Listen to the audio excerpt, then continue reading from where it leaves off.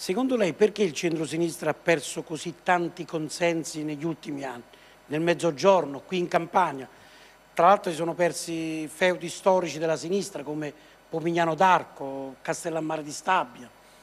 Ma secondo me un, un, passaggio innanzitutto è quello di aver uh, inseguito un po' Berlusconi con il berlusconismo, cioè nel submodello culturale che egli va realizzando in questi sì. anni, l'apparire al posto dell'essere, il consumatore universale, non più il merito ma le appartenenze. Poi c'è stato un evidente crollo al sud soprattutto sulla questione morale, basta vedere quello accaduto in Abruzzo, in Campania, in Basilicata, in Calabria e poi una classe dirigente all'interno del centro-sinistra che in parte è refrattaria a un forte rinnovamento sia nei contenuti che nei programmi ma anche nelle persone. Lei parla di liste pulite, eh, sono stati diversi però i casi di candidati in Campania, le ultime regionali, che sono stati eletti, alcuni condannati con sentenza di primo grado, qualcuno con sentenza definitiva e altri sono inquisiti.